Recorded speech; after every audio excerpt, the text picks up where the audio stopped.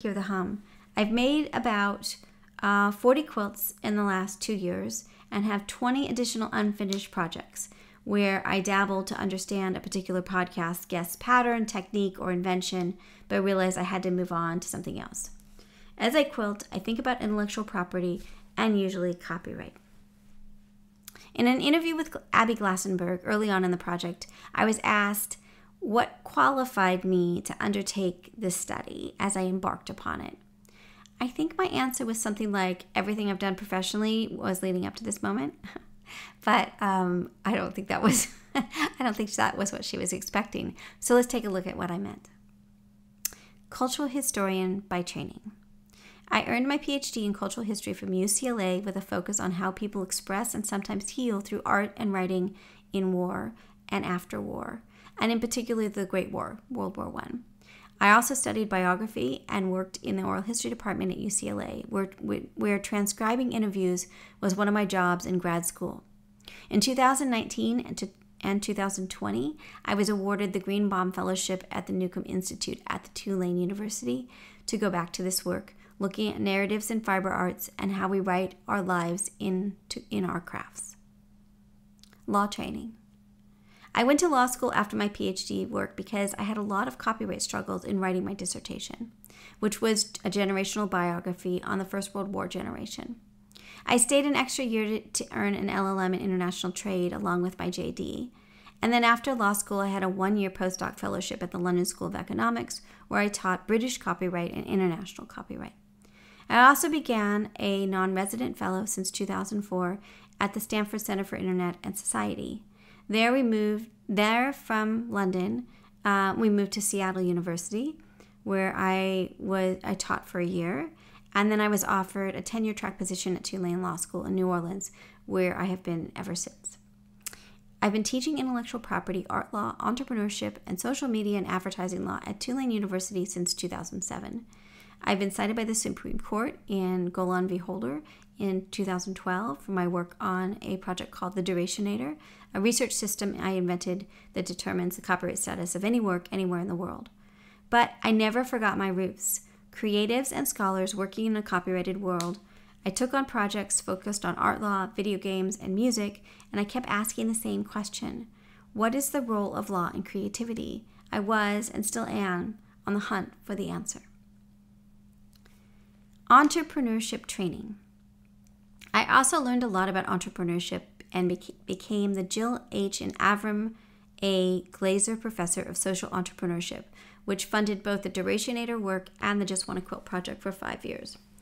Uh, I then was the LePage Faculty Fellow at the A.B. Freeman School of Business at the Tulane at Tulane University for two years as well. Ron Gard, my husband, and I started a company for one of my projects, and it was hard. We struggled. That was 2008. Since then, we have both taught entrepreneurship in many forms, and we recognize the needs of entrepreneurs to have understandable guidance and knowledge to move forward. Now we formed Quilting Army Crew LLC um, to study entrepreneurial the entrepreneurial arm of the Just Wanna Quilt project. And unlike our first company, I'm all in and will leave no question unanswered. There is no longer hesitation about thinking about and understanding uh, what makes an makes mean what it means to be an entrepreneur. So I began this project as a cultural historian an intellectual property law professor focused on copyright for creatives and an entrepreneur. I was not prepared, though, for what I would learn from the quilting industry and the quilters I would meet. I am transformed. Just wanna quilt training. So, for the last few years, I have been immersed in quilting, in the quilt industry, and in making a quilting army. I've gained tremendous I've gained tremendously from this project. I've learned by doing, listening, and chatting. The friends are real, the quilts are flawed, but still amazing. I have dedicated thousands of hours to learn the process, uh, the industry, and the art of quilting to better understand the intersection of law. I feel like this is just the beginning, and we're 300 or more interviews in with over 300 posts oh, sorry, with over 3,000 posts, over 24,000 comments, 67,000 reactions, 2,500 now over 4,100 active members out of a total of 2,800 uh, members. Every day I learn a little bit more about the interaction of art, community, and the law. One more bit, and then we're done with this chapter. When the story of two hats. When I was interviewed for my present job at Tulane Law School, I had to give a presentation to the faculty, after which the faculty traditionally asks hard questions. One of the most intimidating older professors, Professor Oliver Houck, who now has retired, um, barked at me at from the back of the room. It seems like you you want copyright both ways. You aren't taking the side of the creator or the user or the user of culture. Don't you need to pick a team? My answer to him was no. We are always both creators and users of culture. My creator hat. We are all creators of culture. Every one of us takes photos, writes emails, um, and doodles.